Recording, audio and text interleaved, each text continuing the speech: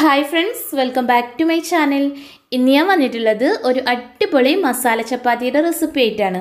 അപ്പോൾ നിങ്ങൾക്ക് ഇതുപോലുള്ള സിമ്പിളായിട്ടുള്ള പുതിയ പുതിയ വെറൈറ്റി റെസിപ്പീസ് കാണാൻ ഇഷ്ടമുള്ളവരാണെങ്കിൽ നിങ്ങൾ എന്റെ ചാനൽ സബ്സ്ക്രൈബ് ചെയ്യാൻ മറക്കരുത്. ചാനൽ സബ്സ്ക്രൈബ് ചെയ്യുന്നതോടൊപ്പം ആ ബെൽ ബട്ടൺ കൂടെ ഇനേബിൾ ആക്കി വെക്കുകയാണെങ്കിൽ ഞാൻ ഇനിയും പുതിയ വീഡിയോസ് അപ്ലോഡ് ചെയ്യുമ്പോൾ അതിന്റെ നോട്ടിഫിക്കേഷൻ നിങ്ങളുടെ ഫോണിൽ മുടങ്ങാതെ ലഭിക്കും. അപ്പോൾ നിങ്ങൾക്ക് എന്റെ പുതിയ വീഡിയോസ് ഒന്നും മിസ്സാവാതെ തന്നെ കാണാൻ സാധിക്കും. അപ്പോൾ ഇനി നമുക്കിത് തയ്യാറാക്കി തുടങ്ങാം. അപ്പം ഇനി നമുക്കിത് തയ്യാറാക്കി തുടങ്ങാം. അതിന് വേണ്ടിയിട്ട് ഞാനിവിടെ ഒരു ബൗളിലോട്ട് ഒന്നര കപ്പ് ഗോതമ്പ് പൊടി ഇട്ട് കൊടുത്തിട്ടുണ്ട്. ഞാനിവിടെ പാക്കറ്റ് പൊടിയാണ് കേട്ടോ യൂസ് ചെയ്യണത്. ഇനി നമുക്കിതിലോട്ട് ആവശ്യത്തിനുള്ള ഉപ്പ് ചേർത്ത് കൊടുക്കുക പിന്നീട് ഞാൻ ഇതിലോട്ട് ഒരു ടേബിൾ സ്പൂണ് മിൽമയുടെ നെയ്യ് കൂടെ ചേർത്ത് കൊടുക്കുന്നുണ്ട്. ശേഷം നമുക്ക് ഇതിലോട്ട് ഇളം ചൂടുള്ള വെള്ളം നന്നായിട്ട് ചൂടുള്ള വെള്ളം വേണ്ട പറ്റ തണുത്ത വെള്ളമല്ല. ഞാനിവിടെ ഒരേളം ചൂടിലാണ് വെള്ളം ഒഴിച്ചു കൊടുക്കുന്നത്. എന്നിട്ട് ഈ മാവ് നന്നായിട്ട് നമ്മൾ ചപ്പാത്തിക്ക് കുഴച്ചെടുക്കൂലേ? എന്ന പോലെ നന്നായിട്ടൊന്ന് കുഴച്ചെടുക്കാം. അപ്പോൾ ഞാനിതാ ഇവിടെ നന്നായി കുഴച്ചെടുത്തിട്ടുണ്ട്. ഇനി നമുക്കിത് മൂടി മാറ്റി വെക്കാം. ശേഷം നമുക്ക് ഇതിലോട്ട് വേണ്ട മസാല റെഡിയാക്കുക അതിന് വേണ്ടിയിട്ട് ഞാനിവിടെ ഒരു പാൻ ചൂടാക്കിയിട്ട് അതിലോട്ട് ഒന്നര ടേബിൾ സ്പൂൺ വെളിച്ചെണ്ണ ഒഴിച്ചു കൊടുത്തിട്ടുണ്ട്. എണ്ണ നന്നായിട്ട് ചൂടായി വരുമ്പോൾ നമുക്ക് ഇതിലോട്ടൊരു കാ ടേബിൾ സ്പൂണ് ചെറിയ ജീരകം അതായത് നല്ല ജീരകം ചേർത്ത് കൊടുക്കുക. പിന്നീട് ഞാൻ ഇതിലോട്ട് ഒരു സവാള മുഴുവനായിട്ടും ചേർത്ത് കൊടുക്കുന്നുണ്ട്. നല്ല അത്യാവശ്യം വലുപ്പത്തിലുള്ള ഒരു സവാള ചെറുതായിട്ട് കട്ട് ചെയ്തെടുത്തിട്ടുള്ളത് ചേർത്ത് കൊടുത്തിട്ടുണ്ട്.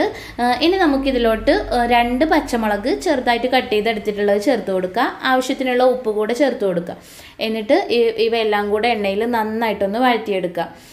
ഇത് നന്നായി വഴന്നു വന്നതിന് ശേഷം നമുക്കിതിലോട്ട് പൊടികൾ ചേർത്ത് കൊടുക്കുക. ഞാനിവിടെ കാ ടേബിൾ സ്പൂണ് മഞ്ഞൾപ്പൊടി അര ടേബിൾ സ്പൂണ് മുളക് പൊടി അര ടേബിൾ സ്പൂണ് ചിക്കൻ മസാല എന്നിവയാണ് ചേർത്ത് കൊടുത്തിട്ടുള്ളത്. ഇനി ഈ മസാലകളുടെ കുത്തൊക്കെ ഒന്ന് മാറി വരുന്നവരെ ഇത് എണ്ണയിൽ നന്നായിട്ടൊന്ന് മൂപ്പിച്ചെടുക്കുക അപ്പോൾ ഇതാ മസാലേന്റെ കുത്തൊക്കെ നന്നായിട്ട് മാറി വന്നതിന് ശേഷം നമുക്കിതിലോട്ട് ഉരുളക്കിഴങ്ങ് ചേർത്ത് കൊടുക്കുക. ഞാനിവിടെ രണ്ട് മീഡിയം സൈസിലുള്ള ഉരുളക്കിഴങ്ങ് നന്നായിട്ട് വേവിച്ച് തൊലിയൊക്കെ കളഞ്ഞ് ഉടച്ചെടുത്തിട്ടുണ്ടായിരുന്നു. അപ്പോൾ അതും കൂടെ നമുക്ക് ഇതിലോട്ട് ചേർത്ത് കൊടുക്കുക എന്നിട്ട് ഈ മസാലയിൽ നന്നായിട്ടൊന്ന് മിക്സ് ചെയ്തെടുക്കുക നമ്മൾ ഇതിലോട്ട് കിഴങ്ങ് ചേർത്ത് കൊടുക്കുമ്പോൾ നല്ല പോലെ ഉടച്ചെടുത്തതിന് ശേഷം വേണം ചേർത്ത് കൊടുക്കാൻ. പിന്നീട് ഞാൻ ഇതിലോട്ട് ഒരല്പം മല്ലിയില ചെറുതായിട്ട് കട്ട് ചെയ്തെടുത്തിട്ടുള്ളത് കൂടെ ചേർത്ത് കൊടുത്തിട്ടുണ്ട്. ഇനി ഇവയെല്ലാം കൂടെ നമുക്ക് നന്നായിട്ട് മിക്സ് ചെയ്തെടുക്കാം. അപ്പോൾ ഇതാ ഇതിൽ ഉപ്പ് കുറച്ച് കമ്മിയായത് കാരണം ഞാൻ ഇതിലോട്ട് കുറച്ചുകൂടെ ഉപ്പ് ചേർത്ത് കൊടുത്തിട്ടുണ്ട്. ഇനി ഇതിലോട്ടൊരു പുളിക്ക് വേണ്ടിയിട്ട് അരമുറി നാരങ്ങാനീര് കൂടെ ചേർത്ത് കൊടുക്കുന്നുണ്ട്. ഇനി ഇവയെല്ലാം കൂടെ നല്ലപോലെ ഒന്ന് മിക്സ് ചെയ്തെടുക്കുക അപ്പോൾ നമ്മുടെ ചപ്പാത്തിക്ക് വേണ്ട മസാല ഇവിടെ റെഡി ആയിട്ടുണ്ട്. ഇനി നമുക്ക് നമ്മൾ നേരത്തെ കുഴച്ച് വെച്ചിട്ടുണ്ടായിരുന്ന മാവ് എടുക്കുക. ഇതിപ്പോൾ ഇവിടെ നല്ലപോലെ സോഫ്റ്റ് ആയിട്ട് വന്നിട്ടുണ്ട്. ഇനി ഇതിൽ നിന്ന് ഓരോ ബോൾസ് വീതം കട്ട് ചെയ്തെടുക്കുക. അപ്പോൾ ഈ ഒരു മാവ് വെച്ചിട്ട് ഞാനിവിടെ നാല് ബോൾസാണ് കട്ട് ചെയ്തെടുക്കുന്നത് അത്യാവശ്യം വലുപ്പത്തിലുള്ള ബോൾസ് തന്നെ റെഡിയാക്കി എടുക്കണം. നമ്മൾ നേരത്തെ തയ്യാറാക്കി വെച്ചിട്ടുണ്ടായിരുന്ന മസാലയിൽ കിഴങ്ങിന്റെ ചെറിയ പീസസോ കാര്യങ്ങളോ ഉണ്ടെന്നുണ്ടെങ്കിൽ അതൊന്നുകൂടെ ഒന്ന് ഉടഞ്ഞ് കിട്ടാൻ വേണ്ടിയിട്ട് നമ്മളൊരു സ്പൂൺ വെച്ചിട്ട് നന്നായിട്ടൊന്ന് ഉടച്ചെടുക്കുക ശേഷം നമുക്ക് ചപ്പാത്തി തയ്യാറാക്കി തുടങ്ങാം. അപ്പോൾ ഞാനിവിടെ ഒരു ബോൾ എടുത്തിട്ട് ഒരു റോൾ വെച്ചിട്ട് ചെറുതായിട്ടൊന്ന് പരത്തി എടുക്കുന്നുണ്ട് അപ്പോൾ ഇതാ ഇത്രയും പരത്തി എടുത്താൽ മാത്രം മതി. ഇനി നമുക്ക് ഇതിന്റെ സെന്ററിലായിട്ട് നമ്മൾ തയ്യാറാക്കി വെച്ചിട്ടുണ്ടായിരുന്ന ഫില്ലിങ്സ് വെച്ച് കൊടുക്കാം. ഞാനിവിടെ ഒന്നര സ്പൂണോളം ഫില്ലിങ്സ് വെച്ച് കൊടുത്തിട്ടുണ്ട്. ഇനി നമുക്ക് ഈ ഫില്ലിങ്സിനെ ഒന്ന് കവർ ചെയ്തെടുക്കുക അപ്പോൾ ദാ ഈ മാവ് ഇതിന്റെ നാല് വശത്തും ഇതുപോലെ ഒന്ന് കവർ ചെയ്തെടുക്കണം. അപ്പോൾ ദാ ഫില്ലിങ്സ് അതിന്റെ ഉള്ളിലായിട്ട് വന്നിട്ടുണ്ട്. ഇനി നമുക്കിത് കയ്യിൽ വെച്ചിട്ട് നന്നായിട്ടൊന്ന് പ്രസ് ചെയ്ത് കൊടുക്കുക ഒന്ന് ഷേപ്പ് ചെയ്തെടുക്കുക ഈ മസാല ഇതിന്റെ എല്ലാ ഭാഗത്തേക്കും എത്താൻ വേണ്ടിയിട്ട് കയ്യിൽ വെച്ചിട്ട് നന്നായിട്ടൊന്ന് അമർത്തി കൊടുക്കുക ശേഷം നമുക്കിതൊന്ന് പരത്തിയെടുക്കുക അപ്പോൾ ഞാനിവിടെ കൗണ്ടർ ടോപ്പിൽ കുറച്ച് പൊടി വിതറി കൊടുത്തിട്ടുണ്ട്. അതിന്റെ മുകളിലായിട്ട് ഈ ചപ്പാത്തി വെച്ച് കൊടുക്കുക എന്നിട്ട് ഇത് റോൾ വെച്ചിട്ട് നന്നായിട്ടൊന്ന് പരത്തിയെടുക്കുക. അപ്പോൾ നമ്മളിത് പരത്തിയെടുക്കുന്ന സമയത്ത് ശ്രദ്ധിച്ചു വേണം പരത്തിയെടുക്കാൻ. ഫില്ലിങ്സ് പുറത്ത് വരാതെ ശ്രദ്ധിക്കണം കേട്ടോ. അപ്പം ഞാനിതാ ഇതുപോലെ ഒന്ന് പരത്തിയെടുത്തിട്ടുണ്ട്. ഇനി നമുക്കിത് ഒരു പാത്രത്തിലോട്ട് മാറ്റാം.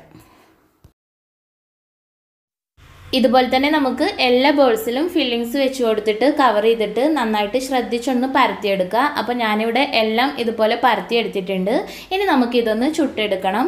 അപ്പോൾ അതിന് വേണ്ടിയിട്ട് ഞാനിവിടെ ഒരു പാൻ ചൂടാക്കി അതിലോട്ട് ഈ ചപ്പാത്തി വെച്ച് കൊടുത്തിട്ടുണ്ട്. ശേഷം നമുക്ക് അതിന്റെ മുകളിലായിട്ട് അല്പം നെയ്യ് ഒന്ന് സ്പ്രെഡ് ചെയ്ത് കൊടുക്കുക. എല്ലാ ഭാഗത്തേക്കും ഞാനിവിടെ മിൽമയുടെ നെയ്യാണ് കേട്ടോ ഉപയോഗിച്ചിട്ടുള്ളത്. പിന്നീട് നമുക്കിത് മറിച്ചിട്ടിട്ട് അതിന്റെ അടിഭാഗത്തൂടെ നെയ്യ് തടവി കൊടുക്കുക ശേഷം നമുക്കിതൊരു മീഡിയം ഫ്ലെയിമിലിട്ടിട്ട് ഇതിന്റെ രണ്ട് സൈഡും നന്നായിട്ടൊന്ന് വേവിച്ചെടുക്കാം. അപ്പോൾ ഇതാ നമ്മുടെ മസാല ചപ്പാത്തി ഇവിടെ ഏകദേശം റെഡിയായി വന്നിട്ടുണ്ട്. ഇതിപ്പോൾ ഇങ്ങനെ പൊങ്ങി വരാൻ തുടങ്ങിയിട്ടുണ്ട് കേട്ടോ. അപ്പോൾ ഈ ചപ്പാത്തി കുക്കായി വന്നിട്ടുണ്ട്. പിന്നെ ഇതിന്റെ ഉള്ളിൽ നമ്മൾ ഓൾറെഡി കുക്ക് ചെയ്തിട്ടുള്ള ഫില്ലിങ്സ് ആണല്ലോ വെച്ച് കൊടുത്തിട്ടുള്ളത്. അപ്പോൾ ഇതിവിടെ റെഡി ആയിട്ടുണ്ട്. ഇനി നമുക്കിത് ഈ പാനിൽ നിന്ന് എടുത്തു മാറ്റാം. അങ്ങനെ നമ്മുടെ ടേസ്റ്റി ആയിട്ടുള്ള സ്പൈസി ആയിട്ടുള്ള ഈ ഒരു മസാല ചപ്പാത്തി ഇവിടെ റെഡി ആയിട്ടുണ്ട്.